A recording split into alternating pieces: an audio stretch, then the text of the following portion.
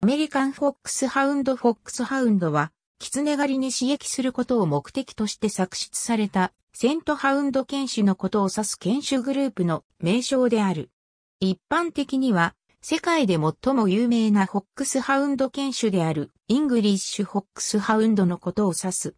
フォックスハウンドはイギリスで起こった貴族のスポーツ狩猟である狐狩りに用いるために考案された犬種である。イギリスに土着している赤狐という知能の高い狐を狩るために改良が加えられ、スタミナと集中力、状況判断力が高められて作り出された。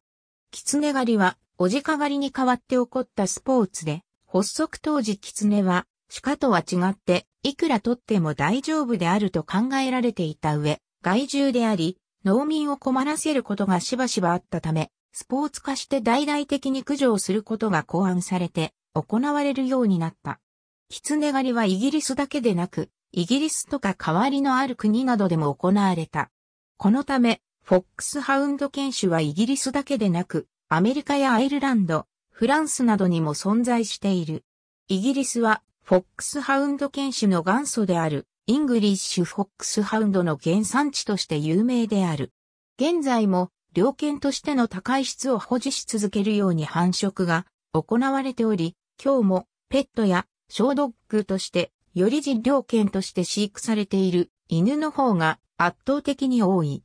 イギリスには、ウェルシュフォックスハウンドなど数種のフォックスハウンドタイプの犬種があるが、 FCIに公認されているものは、イングリッシュフォックスハウンドしか存在しない。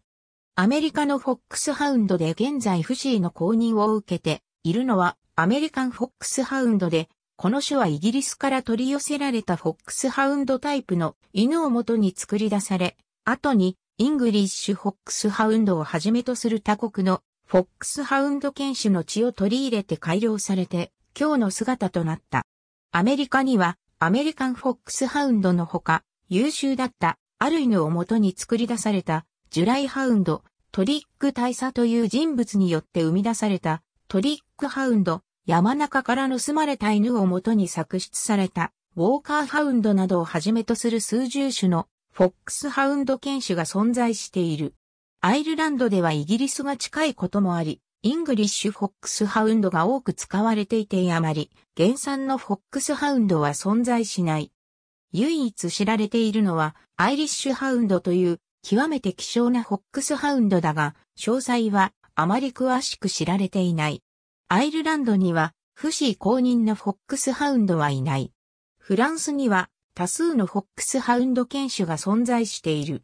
しかし、愛好家や専門家によって分類がバラバラであり、種としての区分の仕方は統一が少ないため煩雑している。数種は、不死により公認犬種として登録されているが、現在もなお分類についての混乱は続いている。公認されているフランス原産のフォックスハウンド犬種はフランセトリコロールなどが知られている。ありがとうございます。